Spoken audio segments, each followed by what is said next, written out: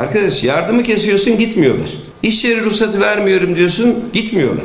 Bundan sonra biz yeni önlemler almaya karar verdik. Önümüzdeki hafta belediye meclisi var arkadaşlar. Yabancı uyruklu kim varsa abonemiz su fiyatlarına, katı ücretlerine başta olmak üzere bazı kalemlerde 10 kat zam yapacağız. Yani Türk vatandaşı ile yabancı uyruklu vatandaş aynı fiyattan suyu kullanamayacak. 10 kat suya, 10 kat katı vergisine, ücretine zam yapacağız. Niye yapıyoruz bunları?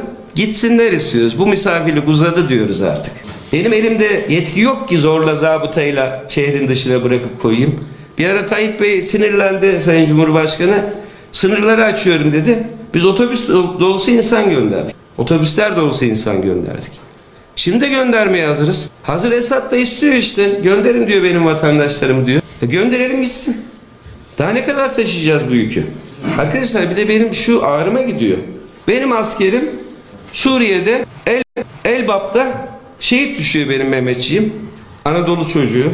Türk milletinin bir ferdi. Burada jöleli, iri kıyım adamlar hiçbir işte çalışmıyor. Akşama kadar parktalar. Milletin karısına kızına bakmaktan başka bir işleri yok. Ki bu da bizim kültürümüze, örfümüze, adetimize, ahlak anlayışımıza son derece aykırı. Bu benim gücüme gidiyor. Sen bu ülkede askerlik yapmayacaksın. Sen bu ülkede e, vergi ödemeyeceksin. Sen bu ülkede yardım almaya devam edeceksin. Bu ülkenin yoksulları, yoksulları yatağa aç girecek. Ama sen Nike marka spor ayakkabından taviz vermeyeceksin. Benim al- alamadığım spor ayakkabılarıyla dolaşan göçmenler var burada. Bunlar nasıl